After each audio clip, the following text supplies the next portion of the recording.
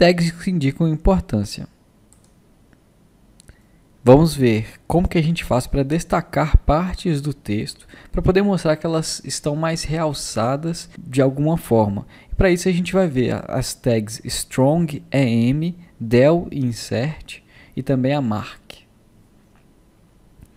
Primeiramente, a tag strong ela é usada para poder marcar texto que tem alta importância. Ele é mais importante do que o texto ao redor dele, indicando maior seriedade ou maior urgência para aquele texto. Por exemplo, olha este trechinho aqui. A gente tem esse não se esqueça, que está em negrito. A gente quer chamar atenção para esse aviso, não se esqueça. Para a gente fazer isso, a gente coloca esse texto não se esqueça dentro de tags strong. Tipicamente, a tag strong é desenhada em negrito pelo navegador. A tag EM vem de ênfase e a ideia é realçar ou acentuar o texto. É basicamente alterar como que a frase vai ser lida, qual que vai ser a entonação. Por exemplo, a gente tem uma frase: gatos são animais bonitinhos. Se a gente quer enfatizar bonitinhos, a gente vai ler a frase da seguinte forma: gatos são animais bonitinhos. Daí a gente está reafirmando a característica dos gatos.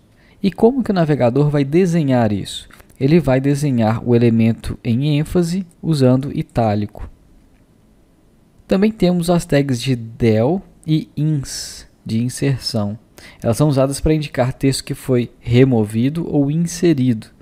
Por exemplo, vamos olhar para este resultado.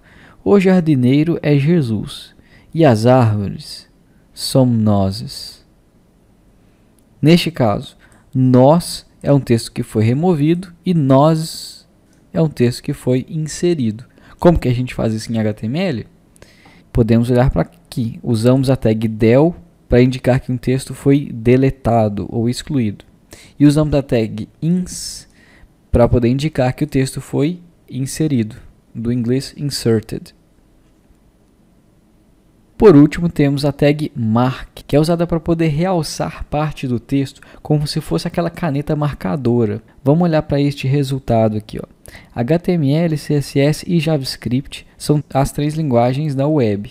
Quem estava escrevendo este texto HTML queria realçar o nome dessas três linguagens. E como que você faz isso? Usando a tag mark. Abre e fecha.